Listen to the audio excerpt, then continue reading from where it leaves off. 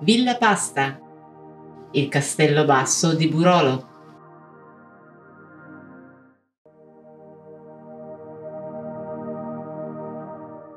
Conosciuta anche come Castello Basso, per essere stata nell'undicesimo secolo una fortificazione facente le funzioni di guardia in entrata ed uscita del paese, questa imponente villa venne acquistata dalla famiglia Ceveris nel 1590 e ridotta ad abitazione, con l'aggiunta di un parco privato che verrà nominato bastione dalla popolazione, proprio in memoria delle vecchie fortificazioni.